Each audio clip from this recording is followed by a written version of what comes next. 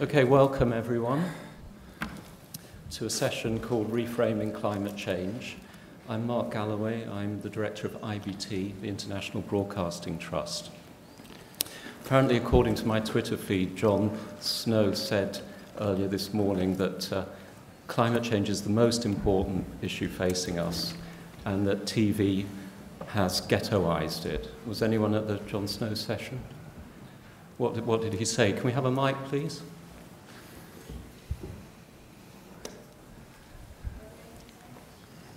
This lady here, second row. Um, yeah, he was there to speak about his, his work trialling um, skunk on screen um, because it was a science presentation. But he said, you know what, I do think climate change is the prime issue that should underpin all the questions we ask about the round, world around ourselves. And um, I was quite taken aback to hear that and very pleased to hear that actually. Thank you. Well, that's really what we're talking about today. Climate change is a huge issue. Uh, it, uh, and there is a lot of media coverage. Um, it, there was an item on the Today programme this morning, there's a lot of coverage in the news. But outside the news and current affairs, I think it's fair to say that television has struggled to find the right form.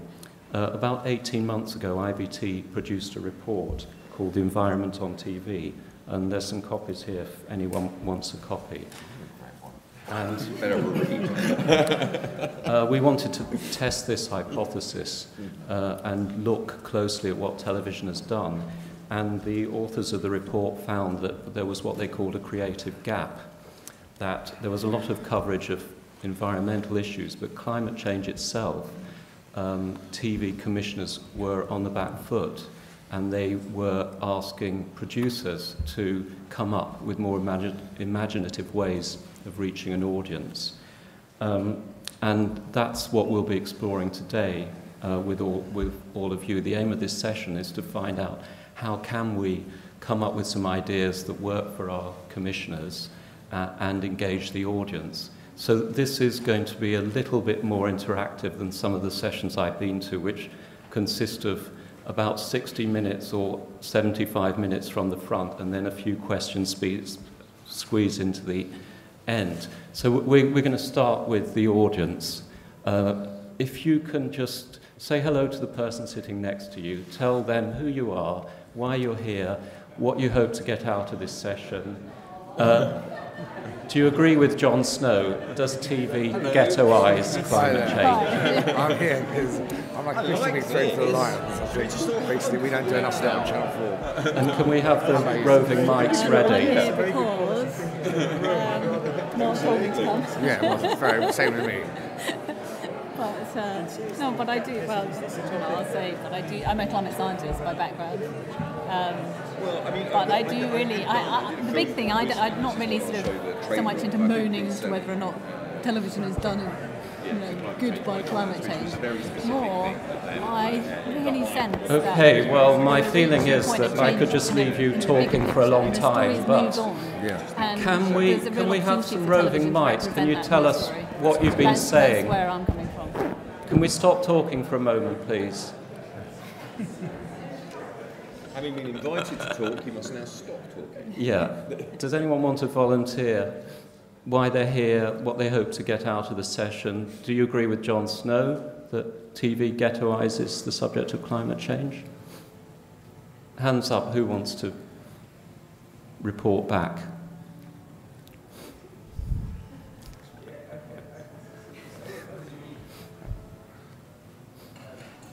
You probably Just say who you are. I'm Russell Beard. I'm um, an ecologist and a, a, reporter on an environmental show for Al Jazeera called Earthrise.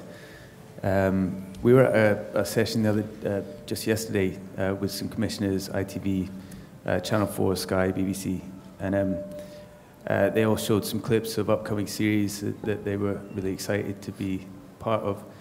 And um, at the end of the session, at the very end, one of the question, questions from the audience was about the big issues. And they said this is all a little bit kind of Little Britain what are you doing to, to cover some of the biggest issues? And he didn't say specifically climate change. He said, said like overpopulation, a few other things, you know. And, um, and they all kind of looked at each other. And it was a bit like, oh, and there was one lady from Sky said that, yeah, they, they they really cared about um, climate change because they had some recycling uh, buckets in the office. Um, and then just kind of laughed it off. And then the whole audience laughed. And so I, I guess I just, to, just to say I agree, I think that's what it was. It's a shame. So I think it's Okay, really valuable what you're doing. More comments. Incidentally, Russell is one of the filmmakers who was shortlisted for the pitch. If you're interested in hearing some ideas from filmmakers, come at 4.30 in the chapel and you'll see five filmmakers pitching. Yeah.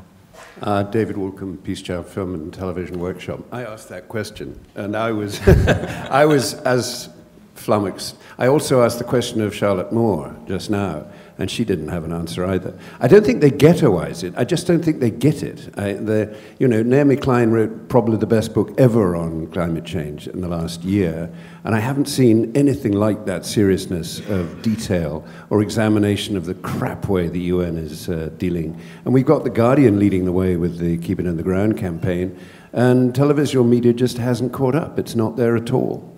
Okay, well, let's hope by the end of this session you've changed your mind, because we've certainly got two commissioners who do care about this issue and want to commission programming. But let's, let's not start with a TV person, let's start with a non-TV person. Actually, I'll just introduce the panel so that you know who they are. At the far end, David Glover, Head of Special, Specialist Factual at Channel 4.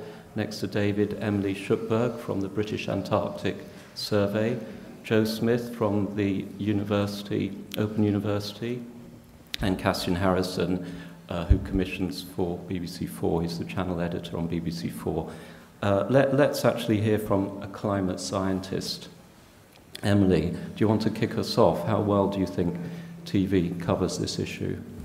Yeah, so I was going to start off with um, actually talking a little bit about the big picture the world outside the media and how I see this issue developing in, in that outside world because my sense is that that's what me, the media needs to respond to. And I have really seen um, a, a- sea change over the last you know, 12, 18 months or so, um, where actually in the outside world, climate change is being reframed. There is a new narrative around climate change. It's moved on from the ghettoized pollution box. Um, and now um, it's much, it's not no longer really about is it or isn't it. Um, it's about um, recognizing the risks, but then importantly, looking at the solutions, looking at the responses. And that opens up a whole new exciting world of creative thought and innovation and, and so forth, and seizing the opportunities.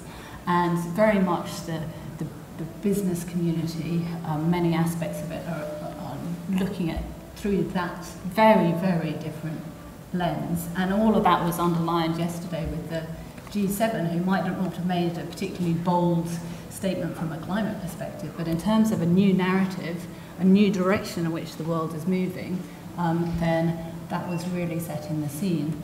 Um, in terms of the science, I mean, just to sort of you know emphasise some of that, um, in terms of the sort of recognising the risks aspect of it, um, his, this is a picture from Antarctica. I work for the British Antarctic Survey, and we really are seeing you know, Antarctica on the move at the moment in terms of climate change.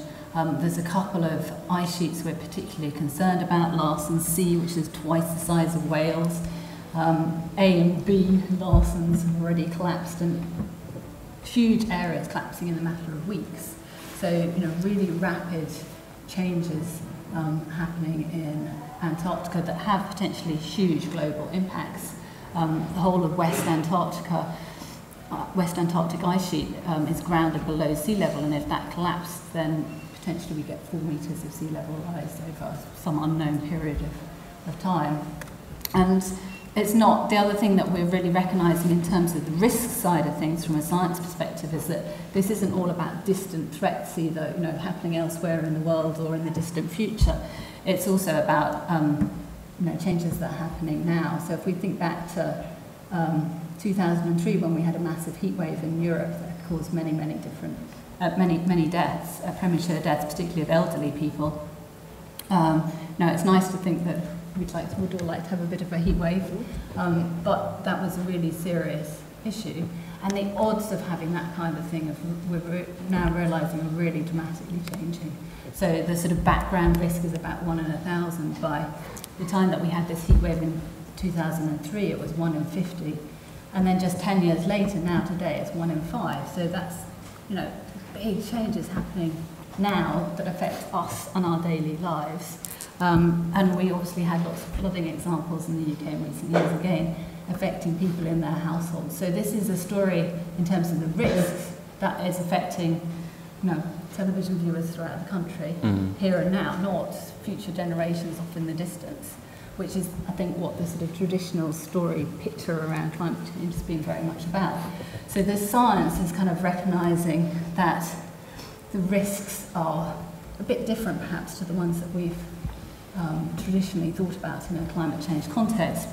But then I think the most important part of the story, um, where I've seen the biggest changes, um, is in terms of the responses. So this is a, um, a new um, retrofit of a Marks and Spencer store that was opened the other week up in, um, uh, up in Newcastle um, that's got all sorts of green and eco-climate change related resilience and uh, mitigation um, aspects associated with it. But, and that's just one part of the business community who are really seeing this not as just responding to a corporate social responsibility agenda, but seeing this from an opportunities perspective and making it not just a siloed part of their business, but integral to their whole business strategy. And that I see as being very reflective of just a changed narrative more generally, that you know, our future, again, as underlined by the G7 statement yesterday, is going to be a different future. And um, I see that there's a real opportunity for the media to respond to that um, and to help tell that story of what our future is going to be, how that's relevant to people's lives. And you, you, from what you're saying, you're implying the media's behind the story, has I to catch up. My, my sense is, and even just from the comments that we've had Mm. just now, that, you know, there's, that, that the media's still with the old story of it being a ghettoised pollution Mm. standalone box and hasn't really caught up with the broader picture, which is very much about this being part of the mainstream future of everyone, um, and that there are going to be choices um, that we've got to respond to, and there are going to be opportunities that we can seize or not um, in terms of the responses. And Um, uh, do you, and is, it, you know, Mm. it's not, it kind of changes the whole framing from being a sort of negative, doom and gloom story Mm. to actually being a story of exciting opportunities. Exciting opportunities in terms of the technology, exciting opportunities in terms of, you know, the different kind of world that we'll be living in. It's much more of a, you know, a positive and engaging story than the kind of doom and gloom pollution thing. Mm. But, but it's, and, and, and yeah, as I say, I see that happening in every other sphere other than the media. Mm. Okay, thank you. Let, let's go to Cassian next. You're actually one of the commissioners who has commissioned films about climate change. I have. Can you talk us through your, your journey, not uh, h- how you got to commission them, why you specifically commissioned what you commissioned? And Uh, yeah, I mean, I think that I think that everybody in this room is all, and will, will, none of us would disagree with the idea that it is an important subject, uh, and that, that, that, that it's something that we should be collectively as a society and indeed as a planet talking about. I think that the interesting thing and the challenge, but it's a really exciting challenge and an opportunity, is this question about how do you find, how do you frame uh, the questions around climate change in interesting ways that feel novel and fresh to the audience. Um, I did for BBC4 I commissioned one particular piece which went out earlier this year, which was climate change by numbers. Um, and that was motivated by a, a, a combination of two things. One, a kind of particular passion of mine, and also one which very much aligned with what BBC4 is and what its profile is. I think one of the great things about BBC4 is it's a channel which can be unashamedly intelligent and unashamedly brainy even and, and the audience really like that. Uh, and the brainier it gets, actually, the more they like it. And the question for me was it was it was it, it was as much kind of personal one as anything, which was that um, it struck me that it was about the science behind climate change. Um, and obviously, what there have been is endless kind of debates and conversations about, well, how do we know that it's really happening? The kind of standard climate change deniers kind of question. Um, but the question to me was actually, well, how do we know that it's really happening? How do we understand what's happening to an entire planet and its atmosphere and how it's behaving? How do we know that the, how, how can we predict what the temperature is going to do over the um, course of the next century? Um, and so that was a kind of challenge that I then set uh, the science department at the BBC to have a look at this and to unpack it. Um, and, and, and what came out of that actually is a really fascinating and I think remains an extraordinary story, which isn't really talked about, casts the debate in a different light, but still I think a really interesting one, which is ultimately the science of climate change is the biggest, biggest scientific problem that the human race is currently facing. It's, a, it's an environmental change, but actually it's a really interesting scientific problem. Um, how do you predict and model an entire atmosphere? And the truth of it is, is that, um, that actually the reason why we have doubts and uncertainty about it is because we haven't built enough computers to deal with it. I mean, literally, climate change and, and atmospheric modelling is using more computers on this planet than any other task that there is. Um, but we haven't got enough of them. So, so I think something like 54 supercomputers currently working, currently trying to model the planet's atmosphere really interesting, just actually as a, as, as a big scientific question for the human race. Um, so that was what kind of motivated me. Um, I've actually got the kind of pre-title of the film that we did. I won't talk much more, but I'll just play that, and that will give you a sense of the frame of how the film works. So let's play that. So that's, that's the basic frame of it, and it, it becomes absolutely fantastic. Three different people, three different voices, none of whom were kind of ardent pro-climate changes or whatever, they were mathematicians. And, but what you find through it is it also unpacks an extraordinary story, kind of mathematical endeavour, because it includes everything from kind of the Monte Carlo method, which was originally developed for devising nuclear bombs, uh, to methods of statistical interpretation that were first invented in order to, uh, uh, to, to, to help a guy sell off gold lots in South Africa um, to various others. So it becomes a really engaging story that is both about how we know what we know, these numbers that we see on the front page of newspapers all the time, and how those are actually rooted in a scientific journey which goes back hundreds, hundreds of years, basically. So I thought it was really intriguing and it came out really well. So, ha having done that, what, do you have anything in the pipeline? Uh, I don't have particularly at the moment. I, I, have to say, I'm slightly embarrassed. There's a chap called Russell Barnes here, who I've been talking about, who actually has a very good idea for a climate change film, which I just don't think I can do because I don't uh, have okay. the funding. Russell, who are you? Russell, put can your we, hand up. Can we... Tell us about Only Green in the Village, because it's a really lovely idea. Yeah. Can we have the mic here, please?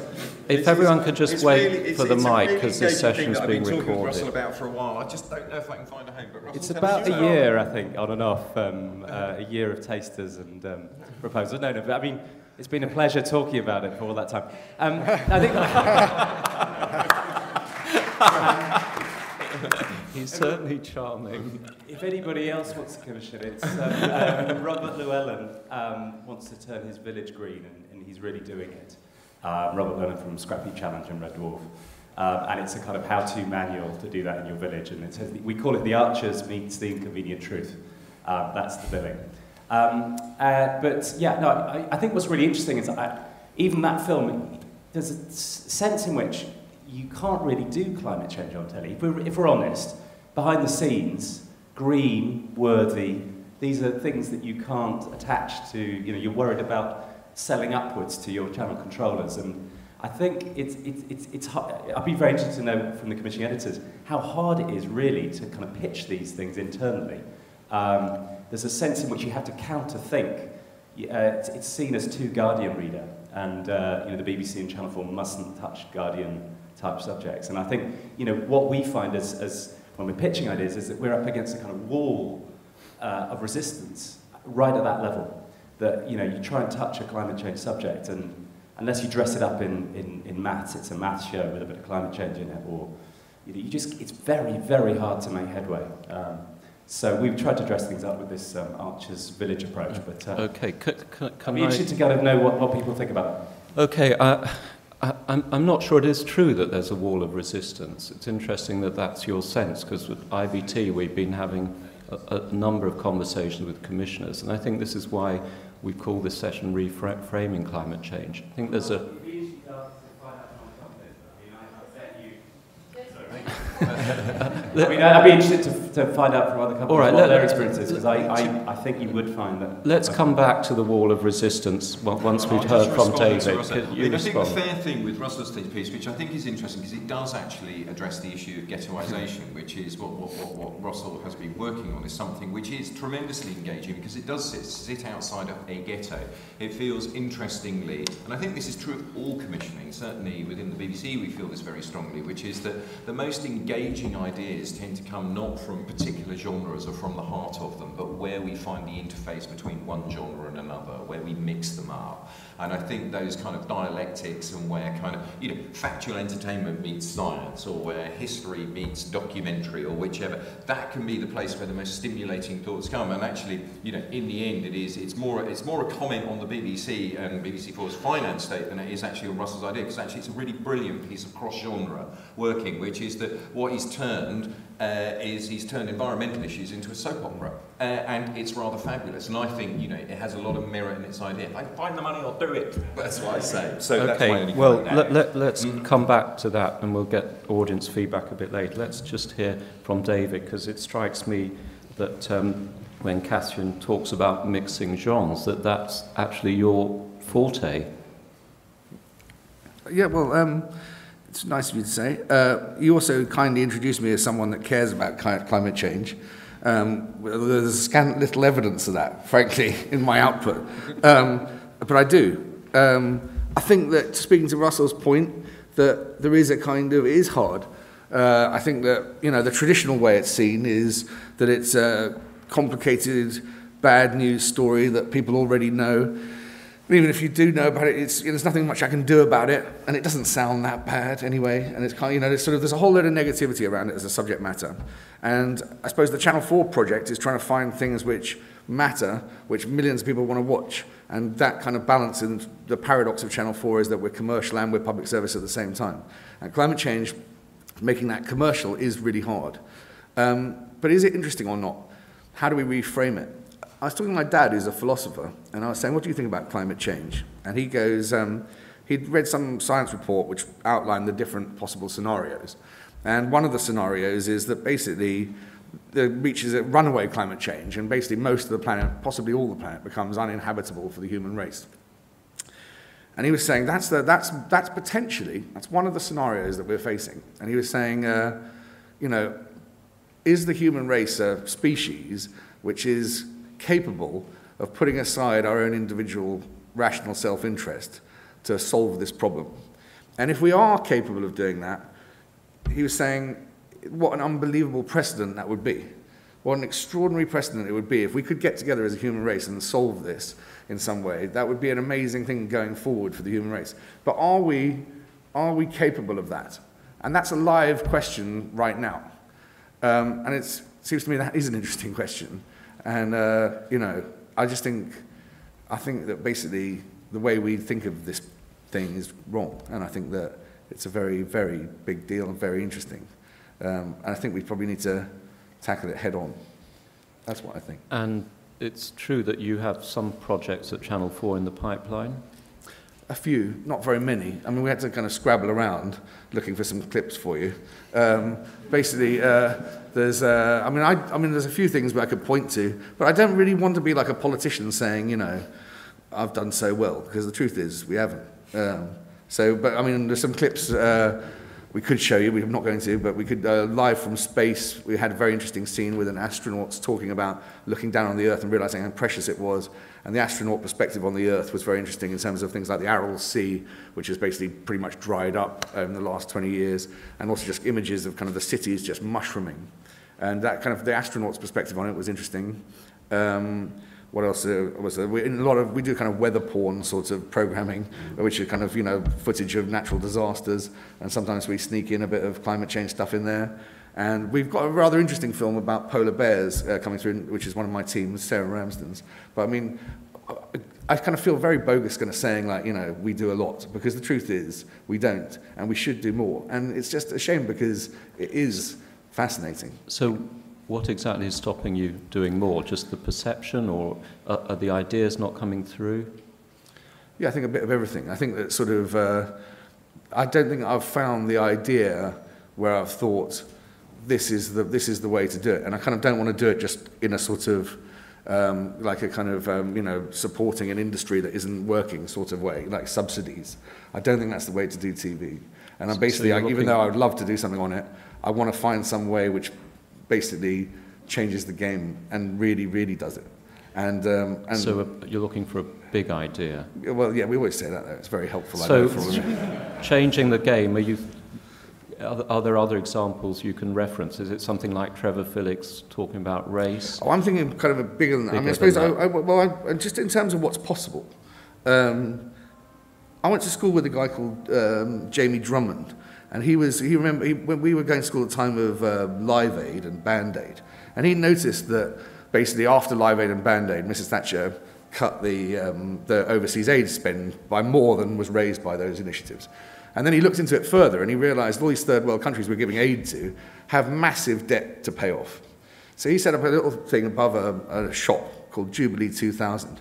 Actually, there's a guy here at the Sheffield Doc Festival called Mike Christie. He came up with the slogan, Drop the Debt. And they started a campaign. And that campaign has actually led to the eradication of most of the world's third world debt. And uh, latest estimates suggest in that time, they've saved 25 million lives and put 20 million kids in school. And I watched that happen because he's a guy I know. And I think that the, we have that, if we could find the right way of doing this, there's possible, we could make massive change, and massive change is required. So kind of, um, I suppose that's, that's, for me, it is a very exciting game, but I haven't, I haven't found anything like an answer. But I'd like to. Well, it's interesting that part of Channel 4's remit is to um, produce change in people's lives. Yeah. Uh, so you have things like Fish Fight, you have events, you have campaigns. Are you thinking that ma- climate change could be a territory for something like that? Well, I suppose I think that campaigns are tricky in terms of there's this like campaign fatigue people have about these. I mean, in a way, Jamie's School Dinners was a brilliant example of a Channel 4 program.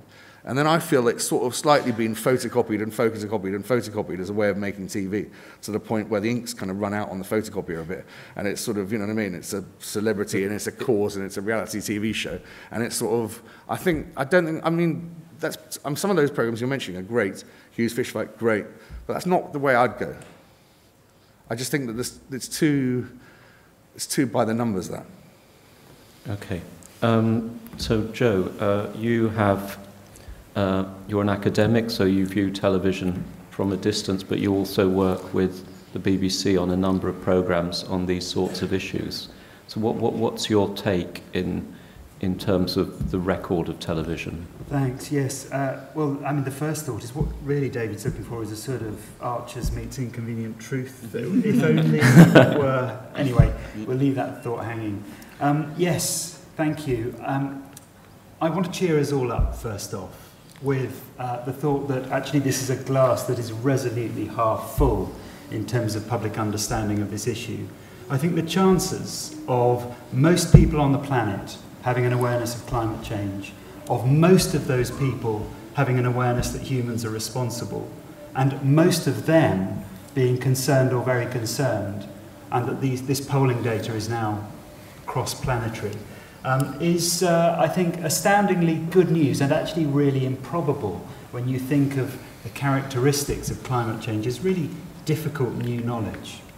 Some of the reasons for it being difficult have already been covered. I won't go through them again. So we should just pause and think about that, uh, but also acknowledge that we've not been here before. This is a difficult story to tell. I do think, however, we should shake this assumption that climate change is uh, dull and can't rate. Um, uh, I would reference uh, three of my favourite programmes that do a good job of the topic uh, Blue Peter, uh, The Archers, and Grand Designs when it, when it attends with focus to this. Um, so let's just point out that those are among the most popular programs in their strands across uh, decades now. Um, that must teach us something. It's also something about the gut instincts the makers of those shows have for their audiences that they can judge tone perfectly. And so an anaerobic digester storyline is manageable for listeners to the Archers in a way that we might not have anticipated if we offered it up ourselves. Why do we need to refra- reframe the topic? I think some of these points have been touched on, but if we summarise the, the mainstream frame of climate change across the last 20 years as, if you like, the Gore narrative, um, it had a number of characteristics. Um, uh, essentially, the end of the world is nigh all over again. Uh, there was a sort of deliciousness in the catastrophism of, of, of that narrative. Um, also that climate change was somehow a finished and hard fact, and I think Emily's nicely displayed how actually, you know, climate change is compelling, unfolding science. It is, as David pointed out, I think, one of the most ambitious questions that humanity has set itself. Of course it's not finished, it's never going to be finished. But also uh, the notion that this is a fragile earth that we live on. Actually, there's nothing that's fragile about the planet. Um, our inhabitation is fairly fragile, but that's a really different point. Also, controversially, I would suggest that uh, demonisation of opposition to action on climate change um, is an own goal and I think disrespectful to sort of 20 to 40% of the people you might bump into on any bus queue in any pub. Uh, and I want to talk a bit more about that in a second. But also I question in, in Inconvenient Truth and a lot of the environmentalist narratives around that, the idea that we require a massive mobilization of people and dollars in the future. There's a great big stride from where we are, difficult, bad place, to where we will be, sunlit uplands of plenty of cash being spent in a global military style effort. Um, that fails to recognise, for example, that for Land Rover Jaguar, climate change has been the biggest driver of innovation across the last 15 years other than the internet in their work. That's true of dozens of FTSE 100 companies. We could come back to that if there's a chance. Okay, so I've said there's lots wrong with that. What should we do instead? Well, certainly a wider range of tones. I would invite our commissioning colleagues to invest, to experiment, to take risks, to take up the creative challenge that the IBT report sets. Roll the dice, try some programs that might or might not work. Um, but certainly, uh, in that context, um, you know, let's all be forgiving of this idea that this is difficult new knowledge that we're going to have to struggle with. Uh, a couple of thoughts um, on uh, changes we need to bring about. I think uh, fear narratives are dangerous magic. And one of the things that I think sociologists now understand well is that the scriptlessness that climate change can leave us with um, rather like the scriptlessness that nuclear war narratives left people with, um, uh, need to be thought into with care. And uh, I uh, do think that having putting your head in the sand is actually a really sensible human response to uh, some of those approaches. So let's respect that. So I'm going to just reference a couple. Am I okay for another minute, Mark, or so? Yeah. Stop me if you need to. Um, I just want to reference a couple of programs or films I've seen in the last few days that I think have a tone or an approach that we might reference. So Nelly Ben Hayoun's Disaster Playground. Um, uh, witty, sharp, funny, um, uh, in a way that uh, Hollywood's attempt at exploring the impacts of uh, deep space impacts uh, struggled with. Um, and uh, I commend it to all of you. Um, similarly, with responsibility and blame, uh, the question of complicity, of the sense that um, uh, if we only identify uh, the guilty oil shills um, and you know, pin a guilty badge on them, uh, all uh, will be well, I think fails to recognise that if we do follow the money, then the, the money will you know, the, the trail will arrive at our door, our pension systems, the jobs of friends and relatives, and so on. So I think we need to think about tone and approach around uh, complicity with care. So my reference point for this would be James Vanderpool's uh, Britain's Forgotten Slave Owners, which found that you know, vicars, uh, widowers, and so on might own one or two slaves in Britain uh, at the time of its abolition. Um, really well judged tone Uh, a couple of last points. Um, first, I think we're thinking too small when we talk about climate change. Even Al Gore is thinking too small. What do I mean by that? Um, actually, climate change is really finishing Darwin's sentence.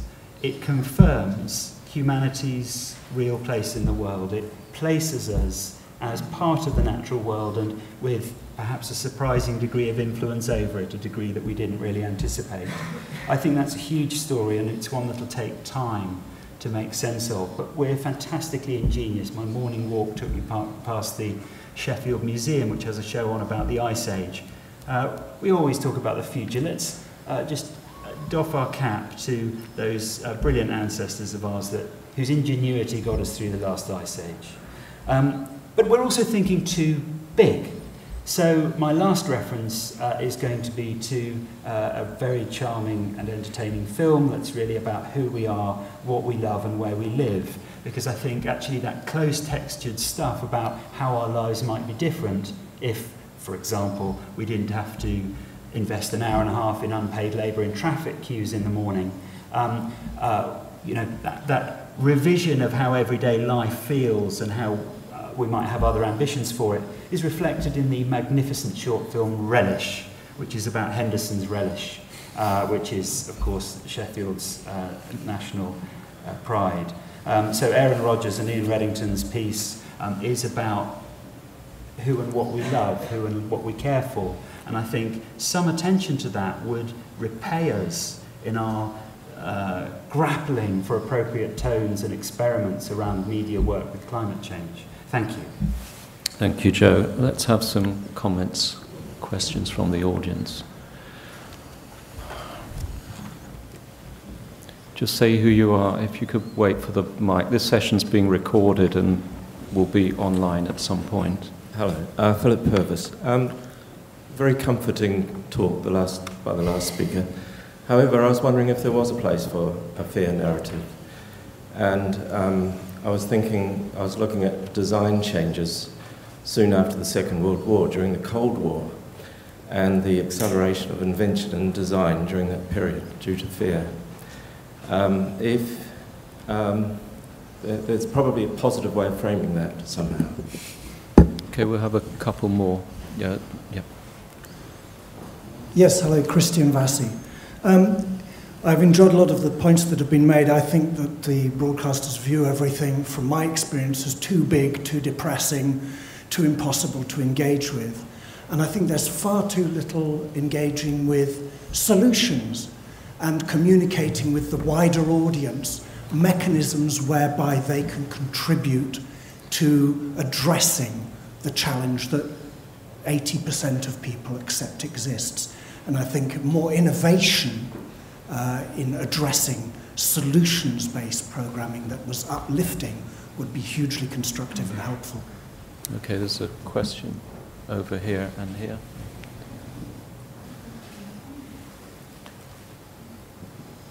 Yep. Hi, Zoe Heron from the um, in-house science department of the BBC. One of the things that I'd like to, um, you said earlier that uh, climate change programs don't bring an audience, and as Cassian knows, the last two shows that he's put out, which have been um, uncompromisingly um, in depth, have done exceptionally well for his channel, overperforming the slot, the slot average. And interestingly, the 16 to 34 audience comes to them in droves. So I'd really like to question that idea that the audience won't come to climate change. Okay, and there's a question here. And then in the front row, can we have the other mic at the front? Yeah. Hi, my name is Sylvia Rowley. Um, so, along with my colleagues, um, Russell and Hugh, and some others who are sat here, we've worked on a, a solutions-based environmental show for the last four years. Um, it's on Al Jazeera English, and it's called Earthrise. Um, and if you're interested in in that side of things, I'd, I'd urge you to um, to watch it, to check it out. Um, but so I think I think this idea of reframing and, and looking at solutions, I think it's I think it's important, but I think it's important for the solutions to match up to the problem and for the problem to be recognised. So if you're talking about um, rising sea levels and melting ice and then and then showing you know a picture of an M&S retrofit, I understand why that's happened, but but that kind of thing um, it really it doesn't it doesn't match up in people's minds, and I think that I think that we need to be we need to, to have hopeful narratives, but we also need to have that jeopardy in the story and that reality check, because without that, I think we can risk kind of sort of turning the juggernaut away from the fear narratives and, and almost encouraging kind of complacency. And actually, that's not as interesting a story. The interesting story is the hope and the fear and the anger kind of all together. Isn't that what makes a great story? Okay, yeah. Anyone else? Hello, I'm, Sean Ferguson from the St Family Charitable Trusts, and um, we're part of an unfurling drama at the moment on Divest Invest. So this is about um, turning off the investment in fossil fuels and turning on investment into renewable energy and climate solutions, and a worldwide campaign with trusts, charitable trust foundations, pension funds, universities, you name it, which has got the oil companies and the coal companies on the back foot and panicking. How can that, and we don't want them to feel cornered because we want them to be part of the solution too. So how could that be framed, Joe, by the media so they're not villains because like you say, they're all individuals in that company and we all want um, good pensions for the future, etc. So that, how can that be framed? Because there is jeopardy in this and there is drama and it's, it's, um, it's, it's a building movement. Okay, let, us take that divestment point first. Joe, uh, is, that, is this a subject that should be being covered by television? Divest, invest, sorry. Uh, I want to connect this to the question about design acceleration and fear narratives. Um, capital, uh, cap, you know, capital and capitalism, um, its unique genius is to uh, respond to information at, at, at pace and scale.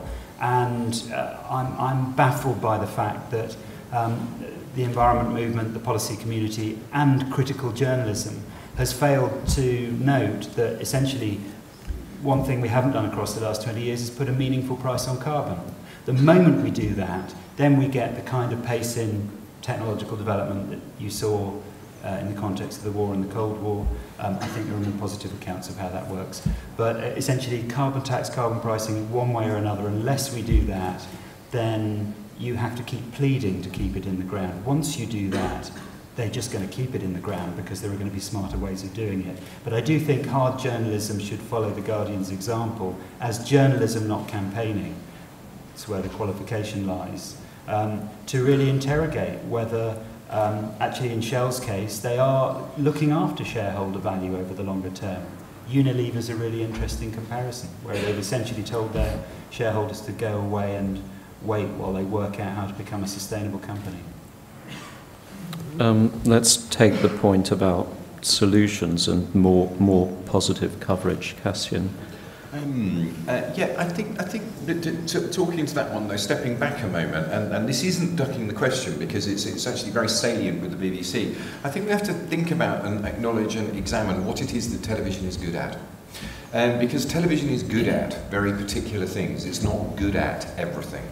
Um, there are uh, a, a, a, you know, even as an organisation, the BBC is very uh, cognizant of that fact. That's why we do a lot of television, but we also do a lot of radio, and we also do a lot of news, and we do a lot of online news, and we do a lot of interactive support as well. And so, due to this solutions point, I mean, one of the things that I spend quite a lot of time looking at is what are the things that different elements of what all media do, and there are very um, uh, particular specialisms. So actually, in a way, what we find when we look at things is that how to do things, how to solve things, what, you know, what, what can I do about something, is actually something that audiences engage with far more in the interactive space than they do on television. Actually, we do quite a lot of online resources around climate change and also things that you can do, and also practices on that point of view. And not, as I say, this isn't a question ducking thing, it's more a thing which I would urge everybody in the room to think about is actually, this is a really pressing question. Television isn't the only solution to answering some of the big questions we have there. Okay, David?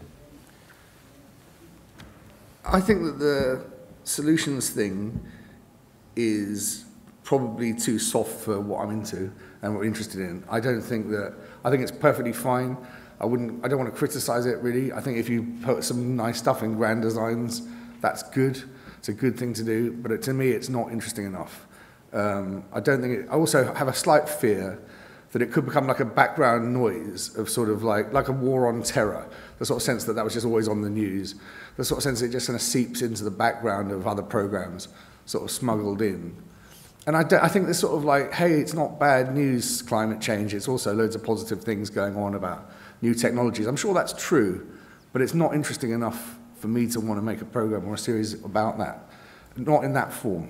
But I mean, I'd like someone to open my mind to that and show me how we could. But I don't, if I'm honest, I, to me it's a bit soft. Emily, you talked about business and business searching for solutions, and Joe mentioned innovation in business. Yeah, so, so I put up the Marks and Spencer's retrofit, not so much as an example of how this was going to hold back the Antarctic ice sheet, um, but more as an example of um, how, and, and Joe's given other examples with Jaguar Land Rover, how my experience is that many sectors of the business community aren't siloing this activity any longer, but instead putting climate change and sustainability issues at their heart in the mainstream of their business strategies. Um, and that when, I mean, in terms of, you know, how's that going to address the, the global climate problem, then, you know, when you do that, when it is no longer a siloed issue but mainstream, then you start to get the scale at which you can address those kind of issues. Um, so that was, you know, the connection that I was making rather than, you know, we can do a bit of recycling and hope to solve the world's problems. Um, I mean, in terms of the sort of, you know, is how can we make this the solutions an exciting and um, space? Uh, you know, this is, a, as you yourself have said, a massive challenge, an absolutely unprecedented challenge in the whole of human history. Um, and, and my sense is that, you know, despite the sort of slow progress on the political level, actually we are reaching that tipping point where we're recognizing that actually we're going to have to try and figure out how the hell to meet this challenge.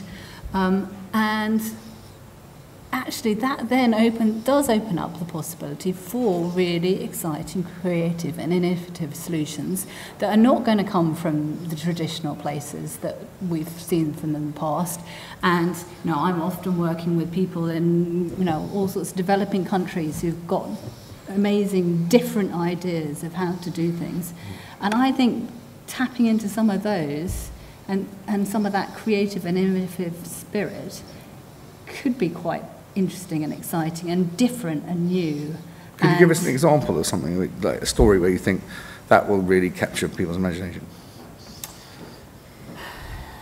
I mean, certainly some of the, um, I mean, Joe might be able to think of some other examples, but I, I mean, I think especially in the, in the developing world, in Africa, some of the things that are going on in terms of um, developments um, that at a local level in terms of um, the use of solar power and solar powered lighting and then integrating that into a whole kind of um, uh, sort of microeconomy model and so forth. There's lots of kind of interesting case studies you could go and look at in a documentary way, I would have thought, of that nature.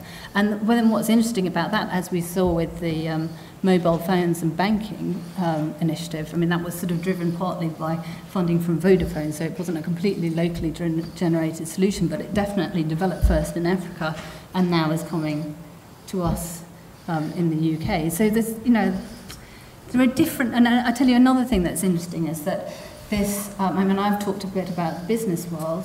A lot of the solutions involve really creative partnerships of a very unlikely nature between NGOs and businesses and government support. And it's just a different way of doing that.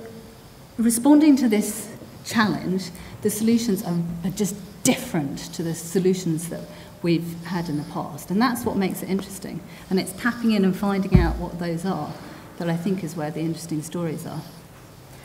It, it may be a problem to get locked into a kind of problem solution dialectic because this is incredibly knotty. Um, but but uh, the only time I've cried at work, uh, well, cried at work in a good way, um, is at the Ashden Awards. And so this is just a plug to everyone to go and look at the Ashden Awards.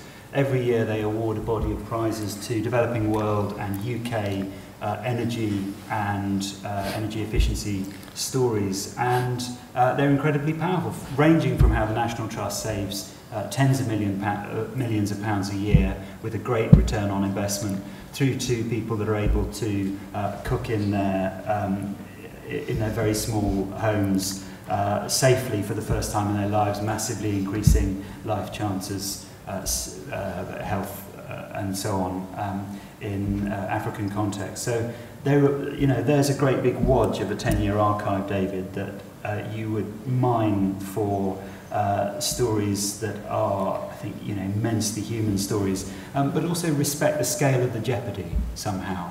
Um, I don't mean, and I apologise if that has come across, I don't mean to uh, underestimate the scale of the risks that we face. Um, they are, I think it's true to say, unparalleled. unparalleled yeah. Okay, let's have some more comments and questions. Yeah, here, any more? Yeah, over here. Yeah, David Walker again. A couple of points. First of all, um, demonization of the oil companies. I think we have to face up to the fact that we're in a battle here. A battle with six of the biggest companies on the global stock market who make millions of dollars, who think it's just fine to make billions of dollars of profit every year from extracting fossil fuels, and those of us who feel that 80% of their assets need to stay in their ground. And that is a battle, and it's a battle which I think we're really unlikely to win because they have so many resources at their disposal. And the second thing is, yes, it's absolutely true, as George Marshall says in his book, Don't Even Think About It, that most of the planet knows that climate change is a problem. But when you come to ask them, what are the major issues that you need to talk about? They talk about good governance, they talk about food, they talk about education. And if you look at the UN survey of 7 million people, My World 2015, action on climate change comes at the very bottom of the list. Only a fifth of the respondents actually mention it at all. So although we know it's a problem, there's something in our neurological makeup that makes us not even want to think about it.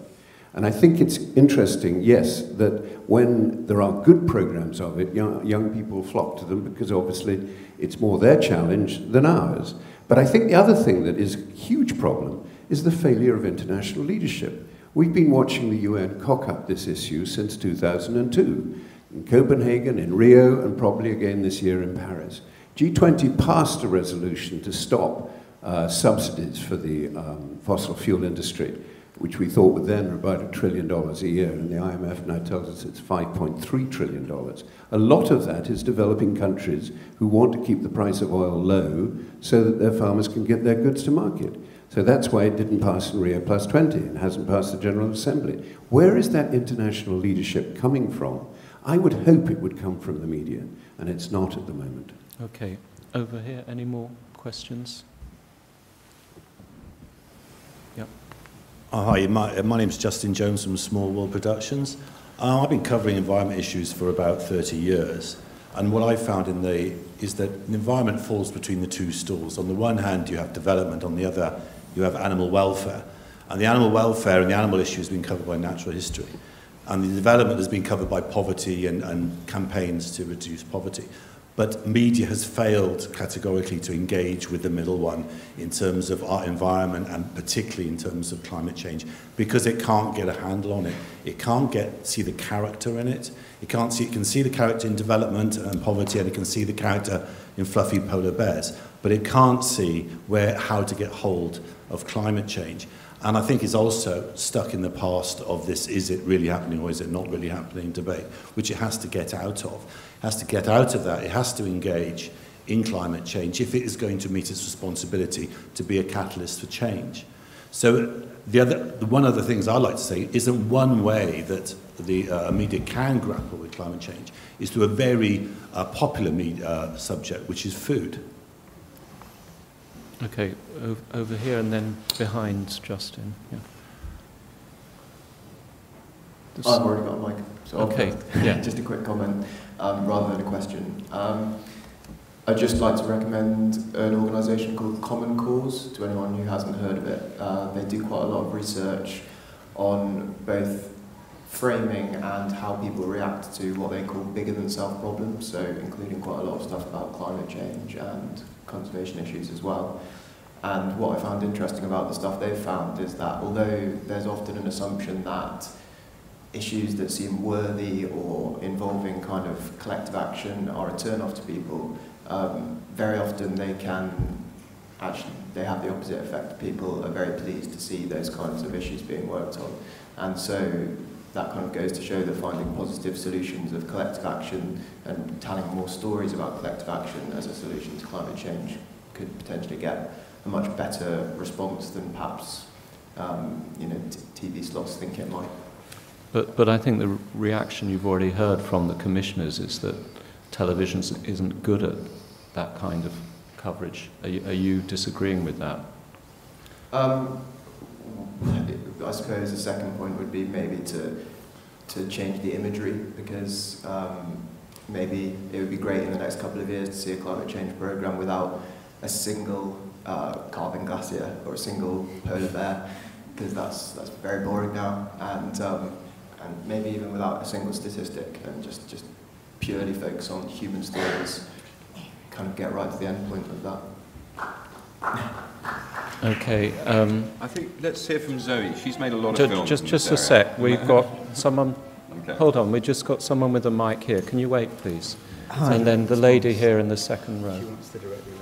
This is just to address uh, that the comment from the chap in the in the white jacket, and also to ask a question for the panel. Um, one is we are. It's very simple for us because as human beings, we're hardwired to essentially deal with immediate threat, to negate and ignore the interconnectedness of geo and socio-political effects and issues. So governments, healthcare, and everything else all are tied and interlinked with climate change, although climate change is the bigger idea, whereas some of these things are much more immediate to us. Um, now, with businesses and also, also particularly with industry, sometimes when they talk about sustainability, my question to them is always about whether or not they're just con concerned about the sustainability of their own profits. I would like to know from the panel what sustainability means to them. Okay, then there was second row here. Oh, who's got the mic on Hi, this side? it's Zoe again from the Science Department at the BBC. Um, okay, can we have the other mic here, please? One of the strands that I help look after is Horizon, and uh, firstly, the food idea is a really good one, and we started the run last year with a show called Should I Eat Meat? for the sake of the planet, which was taking the climate change I really hate the word debate, um, but looking at the food that we eat and the choices that we make in our own homes and how that affects the planet. And that show did really well. Very interestingly on Horizon, not only the overnights are good, but people come to that show on iPlayer and we get 30% uplift. People search out that information. There wasn't a glacier for a polar bear in sight. I'd say in the last, we do 15 shows a year, and in the last run, I'd say at least three of the shows have included climate change. We don't have to put it at its heart because the department made two shows on BBC Four, Horizon Guide to Climate Change, which was a brilliantly constructed show, in my view, went deep into the science and absolutely, as I said earlier, outperformed its slot and outperformed the 16 to 34s. People will come to it. And on Horizon, we're putting climate change on your screen month in, month out. It's a part of the DNA. Um, it may not have the glaciers, and maybe that's why, not, why people aren't recognising it, but it's absolutely out there. So I challenge the idea that we're not covering climate change because, well, I am. Okay. Um, I, am glad you mentioned Should I Eat Meat. I think that's a very good example of reframing climate change. It's a program that has a subject meat is the ostensible subject, what we eat, but underscoring that is a discussion about su sustainable food production. But Zoe, since you have the mic, um, all right, can she? Uh, let, let's just try and move things forward a bit. I think we've got a clear idea from the panel who are saying to us, we have to think about what are the strengths of television. Television is good at some things and not other things. Let's just try and tease out to help producers who are pitching ideas to you. What, in terms of climate change, what is television good at? I mean, I think food and meat, that's a good example. Uh, and what is television bad at? And let's just try and take that forward. That's such a big question. I'm not sure I have the answer to that. And if I did, I'd probably be sitting in Cassian's seat. Back to me. but what I, what, I tell you what I would say. So Horizon does a really broad range Are of you, subjects. you're an exec producer series in... producer on Horizon. On Horizon, Um, so I'm in charge of look after the development, and it's a huge, broad range of subjects. And I will tell you this on almost everything, because climate change affects our lives in almost every single area. I could get climate change in every single show. You can touch on it everywhere. So to sit there and say that you actually, do you have to confront it head on? No, I agree with what you were, Joe, sa- saying, that you can put it in Blue Peter, you can put it in the Archers, you can put it in how you design houses. It doesn't have to be, um, it can be big and it can be small, and it can be and should be, and I would argue in some senses is everywhere, or certainly on the Horizon. So you wouldn't agree that television could do better? From where you sit, television's doing got pretty evidence well. We can do better, don't be silly. Yeah. Well, how could you do better? I don't know, maybe you guys can tell me. Well, why we're here. It's just nice to hear from the audience for a change. Uh, we've got one more question here. Can any, does anyone else want to talk about this idea of what television is good at, so that we can tease that out a bit? Yeah. Yeah, I'll cover that in a slightly rambling question slash provocation if I can, which is that I, when I was 21, I realised for the first time that a chicken in the supermarket was actually the wrong way up uh, because I had such an abstracted relationship to the food on my plate. And I've gone vegetarian in January, I'm finding it very difficult. Uh, and when I say to my friends... So you obviously watch The Horizon. No, I haven't, I haven't actually seen it. I will, I will now check it out. But it, it's difficult to be vegetarian, uh, apart from the fact that when you sit down to a meal, everyone immediately challenges you on the implied criticism of their own eating habits, which is, which is a really difficult situation. And the common answer is, oh, well, I just couldn't give up meat. I love it too much. I like the taste too much. And it's about this idea of abstraction, the, the, the, the relationship between humans and animals being so far removed now, and the same is applicable to the idea of climate change for the reasons that have been mentioned about it's, it's essentially an abstract idea. And my provocation would be, is factual television the best arena to be dealing with these abstract notions, or is it not, in fact, the broader arts, literature, fiction, allegory, and metaphor that are really going to position us in a, in a better position to kind of engage with these ideas? Because I, I would love to watch the mathematicians' take on climate change and going behind the numbers, but I wonder where it leaves us at the end of the programme in terms of converting the idea of engaging with facts through to activism and engagement. So that's my provocation. But what, what would fiction about climate change look like? I mean, the BBC a few years ago did a drama which really wasn't very good. Ian McEwan's written a book which isn't very good. Which I mean, doesn't suggest that other people couldn't do it better. Just because that was bad, it doesn't mean... There's a fantastic film called Take Shelter, I don't know if you've seen that, which is essentially an extended kind of allegory. I'm just, I'm simply proposing that facts aren't really helping. If people are polling, uh, as the gentleman in the white jacket said, climate change as the lowest, even though they're informed, it's coming down as the lowest of their concerns, then it seems we need more than facts in order to provoke engagement. So that's, that's it's just it's just a provocation Okay, that I'd so interested to hear. yeah, we've had a few questions about climate change falling between two stools, a failure of media leadership, um, BBC Science doing a good job, and cross-genre, should we think about fiction or drama? So, um, Catherine, you, you did make the point there are some things that television are good at. Can you take that forward a bit? bounce back. Um, sure. Um, I think that um, uh, uh, uh, it's it's you know obviously television's good at an awful lot of things, but nevertheless, I think there are some some some things that I always uh, hold on to, particularly when looking at these things, and it goes back to some of the programs that we've talked about, which is when you're we've talked a lot about the abstraction of climate change. I think that's a really big challenge with it, which is that they're big abstract words which are things that don't directly and physically and tangibly relate to people's lives. I think when you can find the ways and the tools and the things which are tangible is the word, uh, through which you can tell stories, then that becomes incredibly helpful. So when it is about meat, that's really helpful. It's a thing that people understand which they engage with on their daily life. There's actually, although it's more abstracted, there was still that trick being shown in the BBC Four in the climate change by numbers, which is three numbers. There are three things that we are going to unpack. Um, and that sense of actually television does tend to work strangely by virtue of taking the very small and expanding out behind it rather than just going in on the very big and then trying to keep on engaging me people through it. So that's one thing that I'd say.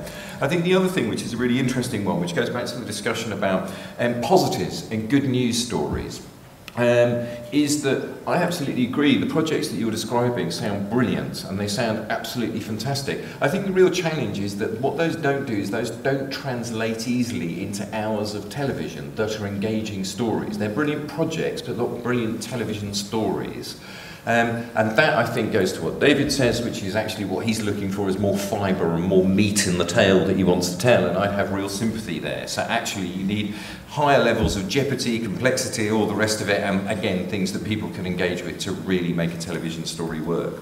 But I think the other thing that we are, which we haven't really talked about in this context, which is an, another bit of the BBC, uh, but which is still important, it goes to those stories that you're telling, is that we shouldn't discount the fact that actually, again, climate change in its narrative is an incredibly important part of what is becoming the news and current affairs narrative. There was 15 minutes on climate change and on the G7 on the Today programme this morning.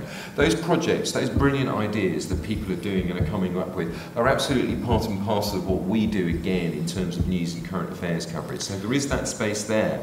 It's about finding the right place for the right kind of story. And those kind of good news stories, those brilliant new ideas, do have their places. They tend to fall more within the news context, though. Does that help? Could you, could you do something, you know, a sort of Yeah, an sure. apprentice style thing for creative solutions? I mean, there's the people at British Antarctic Survey who are looking at um, marine organisms um, in the oceans off Antarctica are incredibly well adapted to the cold temperatures and therefore very good at producing materials in an you know, very low energy way. And, and places, people like, like Land Rover Jaguar are interested in whether they can try and take some of that, um, you know, bio um, technology and, uh, and, and use it in their world. It, it, uh, there's all sorts of kind of ways in which people are kind of creatively trying to look for new innovation in this Absolutely, kind of space. think. Is this, could you do something sort of, you know, apprentice style that You could, apart from, these things against each yeah, I. I, I, think it sounds brilliant as a kind of thought, as a thought and a model to work with. Your challenge is that your apprentice or your or your dragon's den or Yes, whichever it is sort of thing. are the reason why people come to them is because the things that are being talked about and the things that are being offered is stuff that they can see in their daily lives. It's that tangibility which connects the audience. It's about finding the thing, finding the, the mechanisms, the objects, the issues that actually people feel, oh, actually that's something that genuinely matters to me. And I think that's the danger. I'm not saying it's not a good idea, but that's the danger of thinking about, oh God, that's a brilliant idea for analysing marine organisms in the Arctic. Getting your audience to have the emotional investment in that is always going to be a little bit of an uphill Yeah. struggle. That's all I'd say. Let, let's just hear from David. Let's just tease out what television is good at. Um, well, I In suppose I would say that kind of um, just listening to everything that people have said. I mean, I, I, you know, I'm in no position to criticise the BBC's output, and I think it's good that they're doing all that stuff. And I wouldn't be lazy in my assumption saying that people won't watch it. I think that there might be a shift in mood that people will come to this subject matter. Um, but the truth is, we're not doing that great. Uh, I mean, in the, in the sense that a recent survey said that of all the countries on earth, Britain is second only to America in lack of engagement in this at the moment. So, I mean, you know, the idea that somehow we're doing so much and it's all going swimmingly, the truth is people don't really engage with it in this country. That's, that, that's in the science press today. Um, so I think that um, how, do we, how do we get people engaged with it? I think it's very interesting. I think that Cassian's right to talk about being, things being tangible. Um, I think, I'm, I'm thought, I think there's a filmmaker in the 80s called Michael Barnes who made some genius horizons, including one about um, San Francisco and the threat of an earthquake. And it's very hard to make a film about a threat of an earthquake that hasn't happened. And yet he made an extraordinary film where he kind of got into the granular details of it. He got into the details about how the actual land on the, on the fault was much cheaper than other land. And so the government built, bought that land and built schools on that land. So actually kids' playgrounds were actually built on the actual bit which is most likely to crack open and fall into the ground. And then he took a white picket fence of one of these schools, which had actually snapped and broken on the edge of the school. And you could actually just see that, oh my God, this, you know, this school's built on this kind of unbelievably dangerous foundations. And it's very tangible. And I find it quite hard to get that out of climate change, but I have got it a couple of times, weirdly, talking randomly to gardeners And um, there's this gardener, I was saying, do you, do you get influenced by climate change? He goes, yeah, of course. The whole, the, the, the, the plants that we plant are just a different set of plants that work in this country from 20 years ago. I thought, that's, God, that's interesting. And then another one said to me um, that the seasons are just, they have different lengths now, the seasons in this country, in terms of a gardener's perspective on it. And that kind of, you can carry on, I don't know, I don't know anything about gardening, but uh, you can carry on into kind of November doing whatever it is. And, uh, and, uh, and uh, the, the, the, the, autumn or whatever stretches into, you know, and he's basically, and I suppose what I'm trying to say is, I think that suddenly that feels tangible. And I think that, I think there are ways of connecting if we're clever enough. And I think that what, what Cassian's saying is right, that if you make it tangible in those kinds of ways, you've got a hope.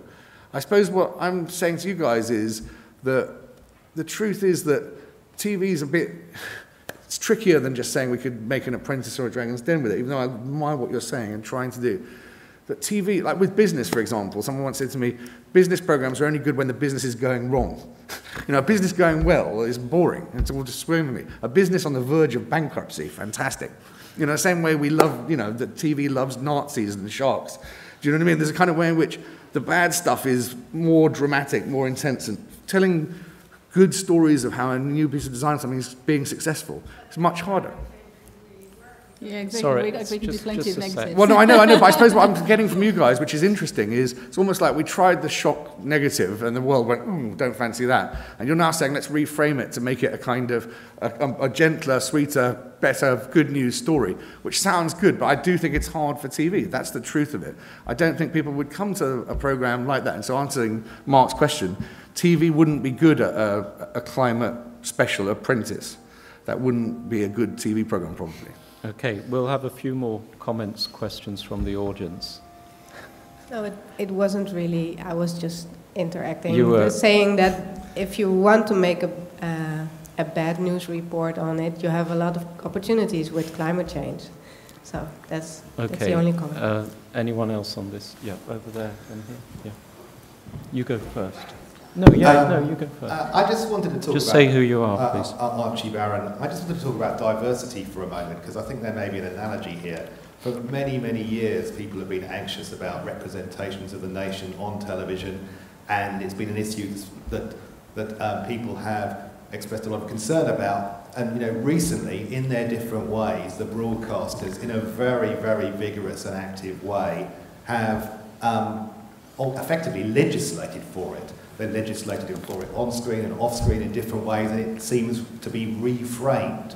Uh, and it's reframed because you know 15% of Britain uh, uh, is BAME, or um, and so diversity is part of what we do. And you know 4% of the the electorate voted Green. A vast number of people who didn't vote Green are very concerned about climate change. A large number of people um, are going to live to 2050 or the end of the century. Short-termism politically is um, uh, much easier in terms of how you cast your vote than thinking long-term. And what TV is good at, or what broadcasters are good at, is scale, ambition, taking something seriously and then going for it. And they're certainly going for it when it comes to diversity in a way that makes us all recontextualise and reframe the issue. So I don't think it's satisfactory to just say, um, you know, it's difficult. I think that the broadcasters separately and collectively could have the muscle to say, this is our audience.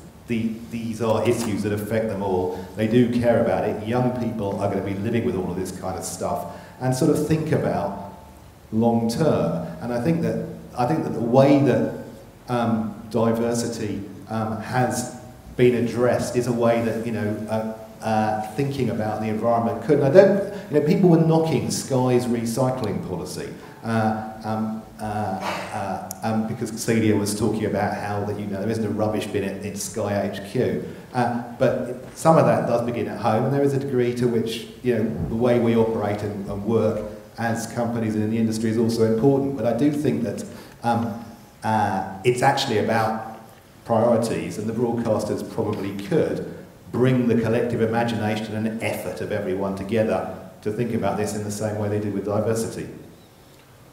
Um, Archie, I'm glad you think that um, uh, uh, the diversity is good, although I'd say that personally I think our performance on diversity is almost as bad as our performance on climate change. I don't think that, you know, no. Mm. But your, your point is really repeating the point about media leadership. Yeah, I mean, I think that. Um, uh, You're saying, in effect, there's an absence of leadership. Are you pitching ideas on climate change and um, facing a wall, uh, a resistance? Um, it's one of those things where my heart tells me we should really develop strong climate change ideas, and we've had meetings and we've talked about it, and we talk with the teams and try and get them together, and we we barely even get to the pitch stage because we think it's not going to get past it's, we're not, you know, we're waiting for the big idea to take to David, but that big idea is probably how to how to save the world, and that's hard to do in order to make a television program about it.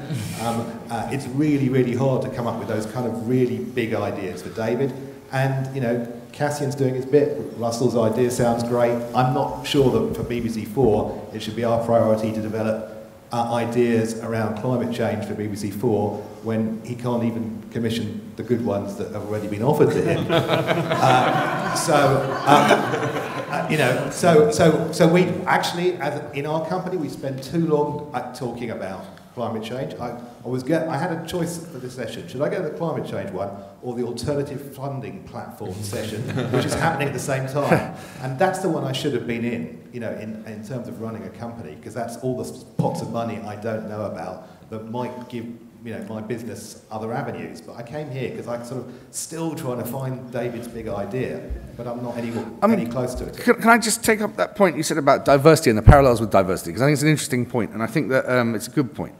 Um, I suppose I think that diversity, they're coming at it from two ways in a way. One, which is sort of like putting in sort of tick box systems, which are actually probably necessary to make change.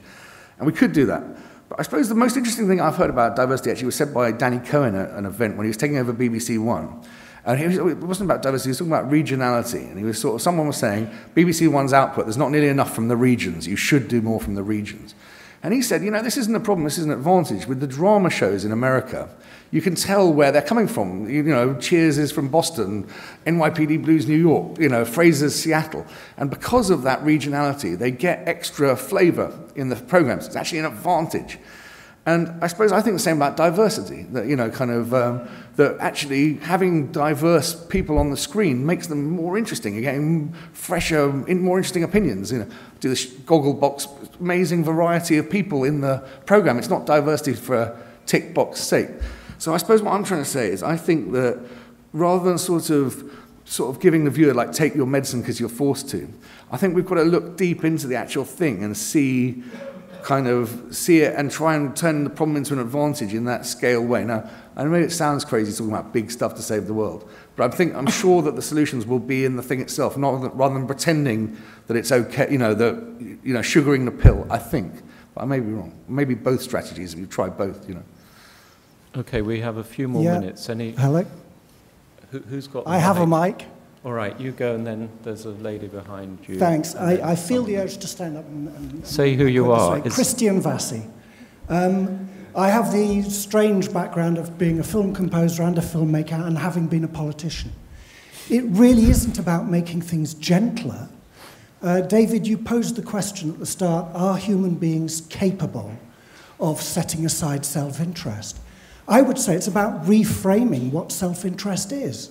In this country, we waste billions of pounds of energy every year because we don't have uh, district heating in our power stations. That causes fuel poverty. That is causing misery on, on a huge scale and huge problems. Surely the challenge is how do we enable citizens across the country to engage with those issues and to see how they can be a part of the solution and how they can put pressure on politicians to create a solution is not a gentle thing. It's about shifting and reframing concepts of self interest and being more internationalist and looking to best practice in the rest of Europe, for example. Just being less parochial and, and more interested in the international perspective.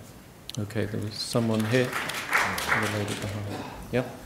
Hi, my name's Rima. Um, I'm a former neuroscientist and, and now a farmer. Um, there, there's a generation of, of younger people whose perspectives we haven't really picked up on. And I think um, I know a lot of people that, that they work in their day jobs which might be at the BBC or Channel 4 or wherever, but a lot of the rest of the time they're doing things like working with food banks, they're doing urban farming, they're doing all kinds of uh, incredible things. There's a generation that we're not tapping into, and, and it's that edge really that we need to kind of find because it's not going to happen in the mainstream. So the guy talked about diversity. You know, let, let's look at the margins, um, and, and, and that's the way it will make its way into the to the mainstream because we need to change not just the, the language and the way in which we talk about this, but to create that kind of distress because at the end of the day, people here, we're, we're too middle class, privileged and comfortable to make the changes that we need to make. So, you know, imagine if we opened up a, a window into the equator and looked at people who are living there right now, who are living with the real effects of climate change. You know, you did a, you, you did a soap opera and you put that into EastEnders. Um, you did Gogglebox and you turned, you looked at that. We sent Stacey Dooley, BBC Three. You know, we YouTube challenged. The younger generations, they're not watching television, excuse me, um, at the moment. They're, they're on other platforms, and you know, they're, they're in closed platforms. They're trying to close us out of their world because we've spoilt it. Okay. Uh, so, so th th there are options. Don't feel like we've got to come to the one big solution. There's lots of different things that we could try, and I, and I dare you to, to be bold and to be brave and try many things. Okay. We'll, we'll, thank you.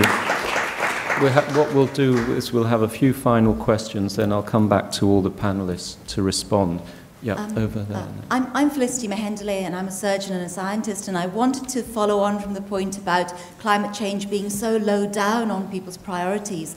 And I think it's just because there's other more mundane things people worry about, other things that maybe are more pressing, where their actions and the consequences are much more in their face, not remote, i.e., remote in the future, or remote because they happen to other people and we sort of wrapped up in our own worlds without perspective. And what would be great would be to have programs that change perspective. So maybe slightly tongue in cheek, but something that takes the public in Britain and plants them in countries that are at risk of the impact of climate change and lives three weeks with them, looking at their daily lives and transplant someone back to us in Britain and actually look critically at what we do that impacts on families. And, and it sort of crosses into maybe entertainment, but maybe reaches an audience that wouldn't come to a pure science program.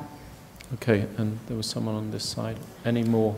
Yeah, hi. Um, my name is Ash Robinson, um, short form content creator. Um, I'm wondering if, um, I mean, it's a bit of blue sky thinking, but what if uh, there was some kind of um, public statement of encouragement from broadcasters, even if it was cross, cross-channel, kind of consensus that said X percent of our broadcasting is going to touch on climate change, and, and that can be then worked into other ideas and things like that. If, if, if that happened, perhaps content creators would be encouraged to really put in the time and energy investment into coming up with, with, with ways to reframe this debate and really present it to, to the public in, in innovative and fun, engaging ways, which the investment in doing that is quite hard. When we hear discouraging stories of people that have had ideas for a long time and trying to get them on screen, it's, it's perhaps, you know, we've got to pay the mortgage as well, so we come up with, we do other things instead.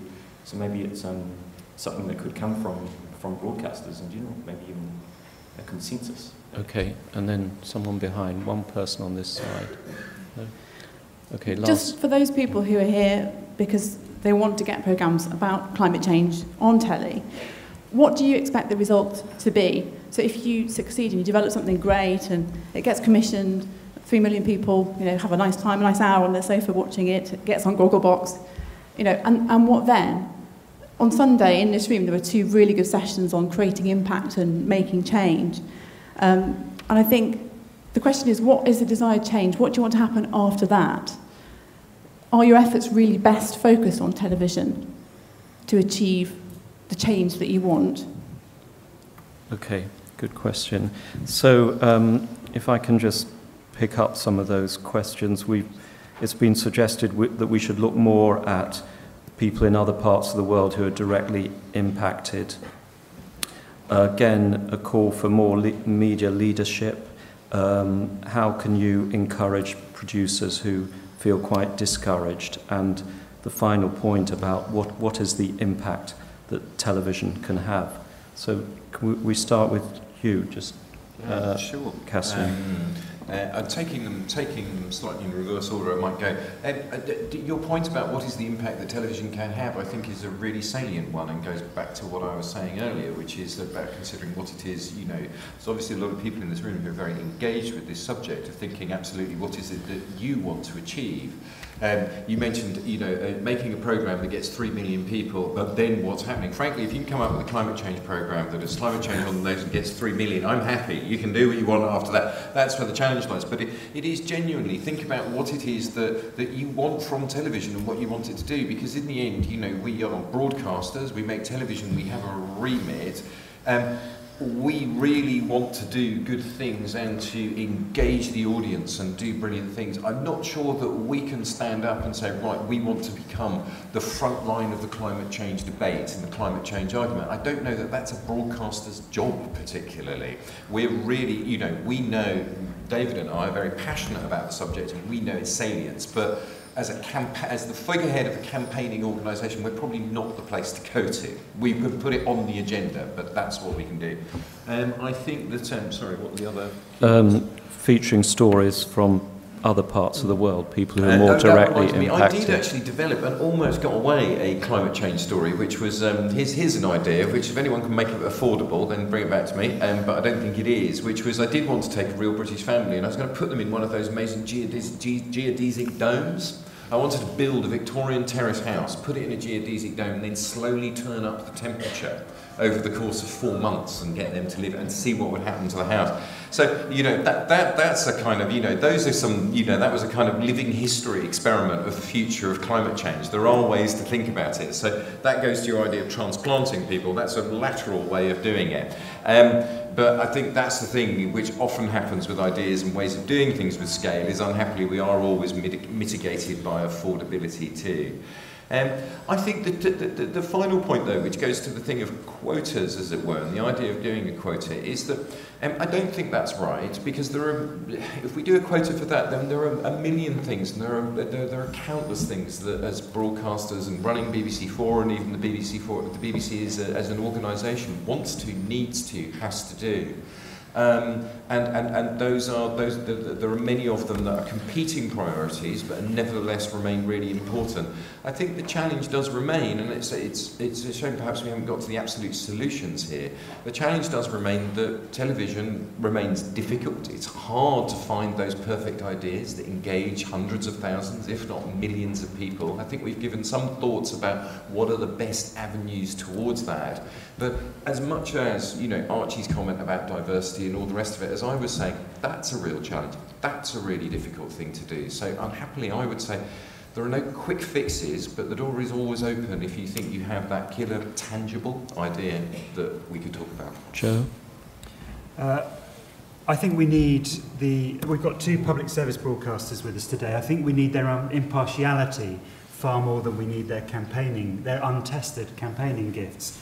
Um, I also think we need their creativity and capacity to tell stories.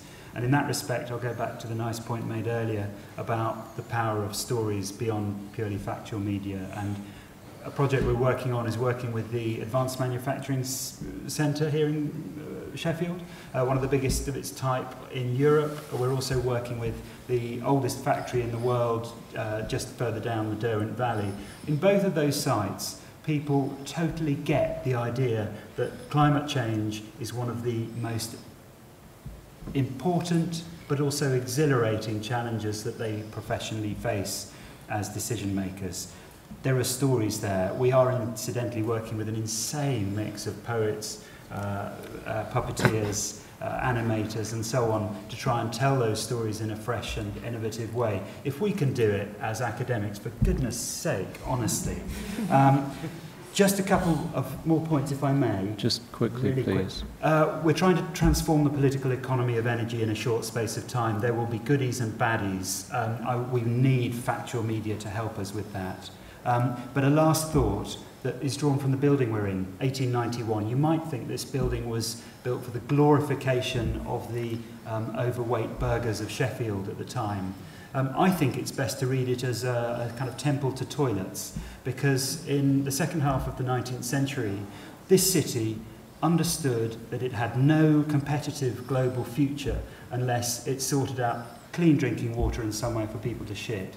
And their achievement of that across a few short decades was vital to the economy and well-being of their society. I think it's that kind of insight, uh, that kind of scale of thinking that's pertinent around climate change. And I just think we should work harder to unpick that story at that scale. Emily? Um, so, I mean, my, my take home from, from what uh, um, the broadcasters are looking for is something that is relevant to people's lives and tangible. Um, but it seems to me that therefore maybe where a significant focus of efforts is not should not be so much how can we find the climate change story to make a television program about, but instead to take much more of the horizon lead. Climate change does permeate every aspect of our lives, and so instead maybe it's a case of taking whatever topic um, one wants to make a documentary about and challenging that, that question, that topic. You know, we've heard the example of meat, um, and saying with that topic, you know, what are the risks posed to that topic by climate change and, and where are the opportunities that that topic then lends itself to?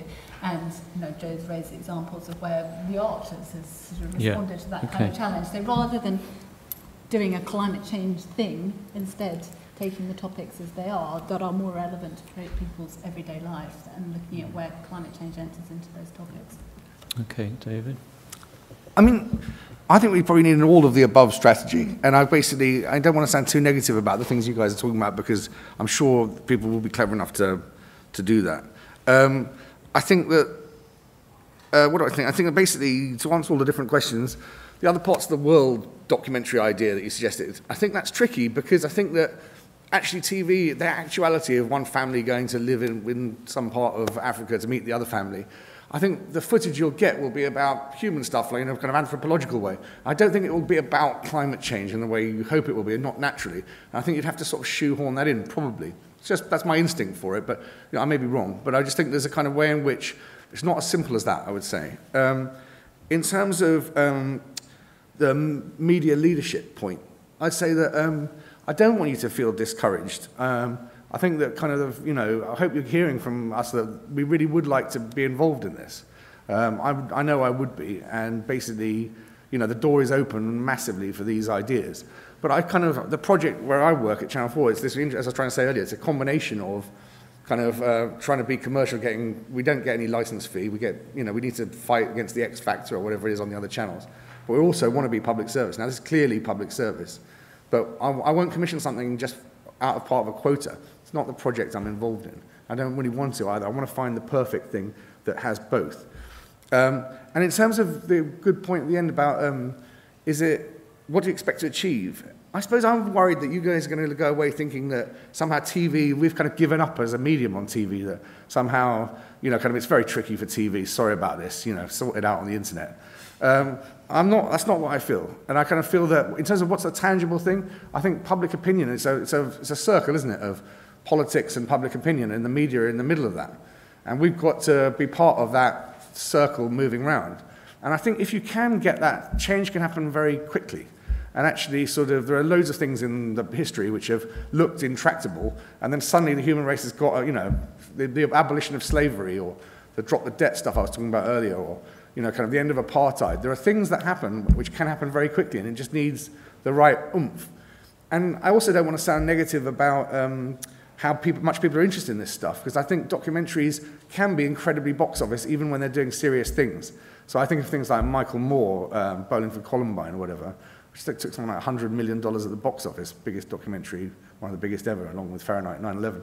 He started small on Channel 4, um, and I think that kind of, you know, there is a possibility to start small with this and find the right leader or face of it or the person that can unlock it. And that could really, really change the world. I, th- I, I certainly believe it could. Um, so uh, that's kind of where I'm at. Thank you. Well, it's great to hear from the commissioners that the door is very much open. Thank you. You've been a great audience. If you want to hear five filmmakers pitch ideas about climate change, then join a, a, a different panel of commissioners at 4.30 in the chapel. But please join me now in thanking our panel today. Thank you.